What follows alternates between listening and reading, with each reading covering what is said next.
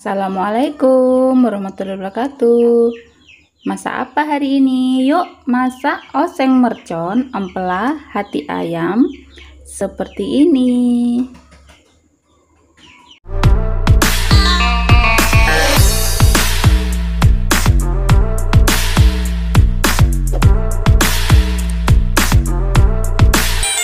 Nah yang perlu disiapkan ada hati empela ayam Saya rebus saya beri garam sedikit waktu merebus dan ini sudah saya potong-potong. Nah untuk bumbunya ada cabai rawit saya pakai 100 gram. Bawang merah saya pakai 5 bawang putih saya pakai 2 nah ini bumbunya langsung di blender aja. Nah untuk campuran mempelah hatinya waktu masak nanti saya pakai bunga kol. Ini ada kacang kapri. Untuk bumbu cemplungannya saya menggunakan cabai merah cabai hijau yang sudah saya iris-iris serong seperti ini dan sudah saya cuci bersih. Bumbu pewanginya ya saya pakai daun jeruk 2 lembar daun salam 3 lembar ada gebrekan jahe seruas jempol tangan ya. Tumis bumbunya. Yang sudah di blender. Tambahkan 3 lembar daun salam 2 lembar daun jeruk. Geprekan jahe nah ini bumbunya sudah setengah matang. Airnya sudah menyusut ya. Langsung bisa kita masukkan hati empela ayamnya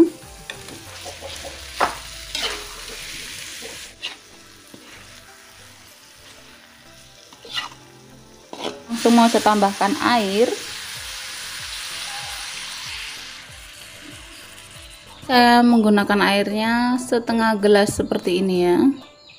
Kan garam 1 sendok teh penyedap rasa 2 sendok teh. Nah kita tunggu sebentar sampai garam dan penyedap rasanya kita tambahkan. Kacang kapri. Nah kita tunggu sejenak kurang lebih 3 sampai 2 menit ya. Nah ini kacang kaprinya sudah berubah warna jadi hijau. Langsung tambahkan bunga kol dan cabai merahnya. Wow. Warnanya menggoda banget. Nah kalau dirasa waktu menumis terlalu mengering bisa langsung bisa kita tambahkan dengan air ya jangan terlalu banyak. Nah untuk bunga kolnya masaknya setengah matang saja ya. Sedikit crunchy. Nah dia kalau kematangan e, menurut saya kurang mantap. Nanti vitaminnya hilang. Sangat mercon. Empelah hati ayamnya. Masya Allah pedes banget. Wow. Bisa langsung kita matikan kompornya ya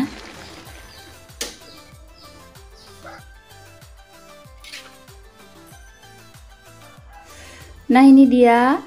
Oseng mercon. Hati empela ayamnya sudah bisa siap kita sajikan ya. Tuh Masya Allah. Uh. wow ini pedas banget dan menggugah selera banget. Terima kasih dari saya. Wassalamualaikum warahmatullahi wabarakatuh